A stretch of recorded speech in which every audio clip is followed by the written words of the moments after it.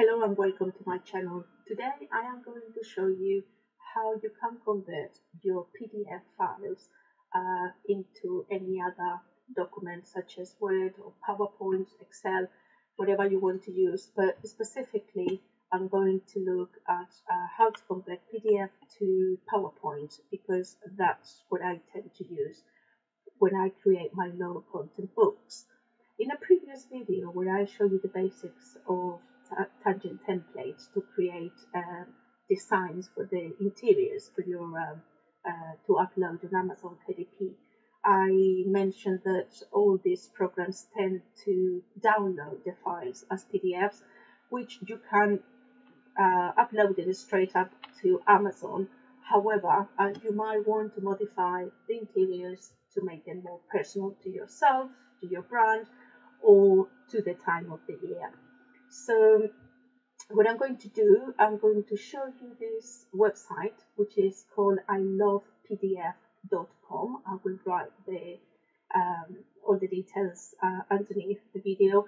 And um, what I'll do is I will use uh, some previous templates that I use from um, Tangent Templates.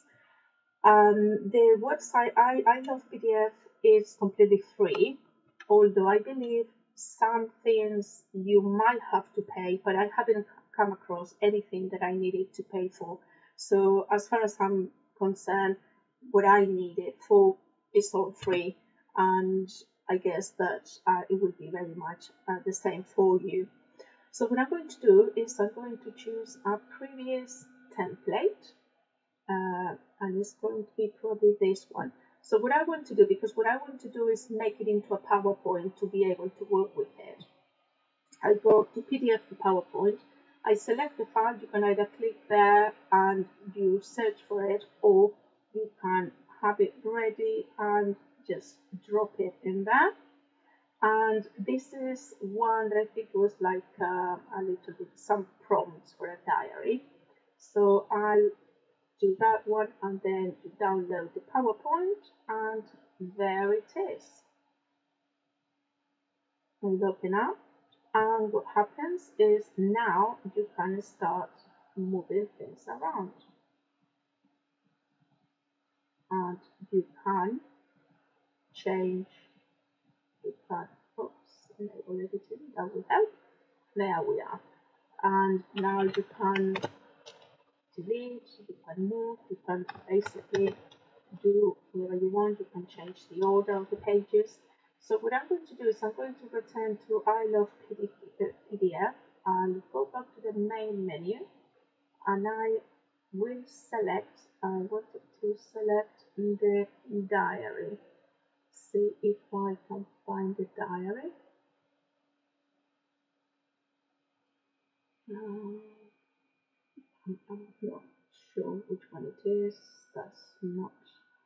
Um, oh, that was the PowerPoint I just created. Let's see if it's this one. And that's the one. And what I'll do is I click down here, convert, and I believe this was about 56 pages, and it's done it already. Click on download, open up, and here we are and in here, this yellow bar, you can see, but it says enable editing, so you just have to enable it, that's it. And now you can basically move things around. You can move them whatever you want. You can copy from one of the documents and paste it onto the other one if you want. So say right at the end you want an extra page and there we are and I just used my keyboard control V and I copied from the other document. I can do the same with other page, copy, go to my diary and do it here, control V and there we are. And then this is the way I basically put together my, my diaries. I have the main body obviously with all the months and weeks and everything and then I add extra pages at the end for uh, write down contacts or um, um, like a little um, visual board and that sort of thing. So that that's a bit more um, extra to the to the people buying them. I also uh, sometimes I, I theme them and I do pets, uh, cats, dogs, flowers, or any other thing that you uh, might be related to your brand, or it can whatever you want. So it depends on the time of the year. So that's it basically. Um, if you are more comfortable uh, editing uh, using Word, you can do exactly the same process. Go PDF to Word, select the PDF, uh, so let's select um, that one, click here, convert, it will download it. Well, um, you click download, it will download it here, and that's it, it opens up. So I hope this has been helpful, and um, I'll see you in the next video. Bye for now.